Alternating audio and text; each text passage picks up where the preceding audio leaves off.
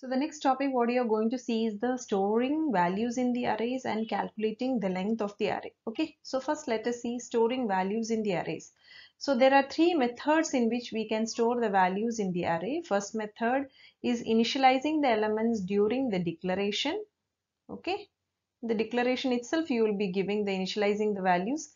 Second one input values for the elements during the runtime. Okay, during the runtime and third one assign values to the individual elements. Okay. So what is meant by initializing the elements during declaration? So you know that declaration here is an example right? The marks is your uh, name of your array and uh, the data type of your array is your integer and 5 is your maximum size. So what is the meaning of this? You will be having the array of the name marks and size is 5 right? So index will be 0 1 2 3 4 okay. So along with this um, declaration initialization means you are going to give the values. So the values will be always inside your curly braces and separated by a comma. So what is the meaning of this? 90 means uh, uh, marks of 0 marks of 0 will be 90 marks of 1 will be initialized to 82 marks of 2 will be initialized to 78 95 88 etc okay so this is one method in which you can store the values in the array. The second method is inputting the values for the elements during the runtime. So from the keyboard when you enter the value you can store it onto your array. So for that for this case either you are going for your for loop or while loop or your do while loop. So you should use a looping statement here. So this is just an example. So you are declaring int i marks of 10, the array size is 10. For i is equal to 0, i less than 10, i plus because this index is from 0 to 9, right? 0 to 9. Scanf format specifier because it is an integer, it is percentage %d and you can enter for for each time. For i is equal to 0 marks of it will be stored in marks of i.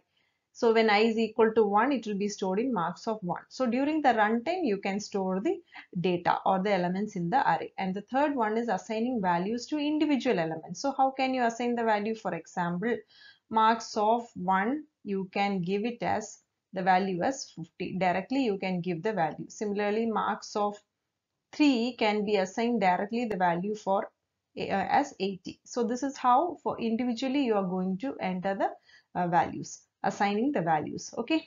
So but uh, some uh, there is an example where you can this is uh, this code is showing you an example where you can copy the elements of one array from the um, another array. Okay. Even though if the array is of your same size and same type you cannot copy the array directly. You have to copy each and every elements to the other array. So see for example here int i variable is declared a variable of an integer type then you have array 1 and array 2 okay so for i is equal to 0 i less than 10 i maximum size of both the array is 10 now for when i is equal to 0 for the first element you are going to so there will be two arrays of the size. This will be array 1 and this will be array 2 the length is how much? Maximum size is 10 so the index will be 0 to 9 here also it will be equal to 0 to 9 so one by one the element of array 1 will be assigned to array 2 for example when i is equal to 0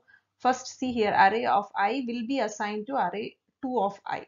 So zeroth element will go to your zeroth of your array 2 similarly when i is equal to 1 first array of array 1 of 1 will be assigned to array 2 of. So one by one each element will be copied to the or will be assigned to the next array. So these are the three different methods in which by which you can store the values in an array. Second one calculating the length of the array. So how will you calculate the length of the array? You know it directly, right? If the length, if you know the index is 0 to 7, what will be your length? It will be 8. If the index is 0 to 9, what will be your uh, length? It will be 10. So you know it uh, know to calculate it directly by formula also you can uh, find out so length is given by upper bound minus your lower bound plus 1 what is your upper bound it is your upper index right so uh, upper index, if for example, if upper index is 9 and lower index is the lower, uh, sorry, lower bound is nothing but your lower index, right? 9 minus 0 plus 1. So if your, it is from 0 to 9 is your index, what will be your length plus 1, right? 10. So that is how you are going to calculate. So where upper bound is your index of the last element and lower bound is the index of your first element in the array. So the same example we are taking. So what will be what is your lower bound here 0 and what is your upper bound here 7. So what will be your length 8 right 7 minus 0 plus 1. So this is how you can calculate the length of the array.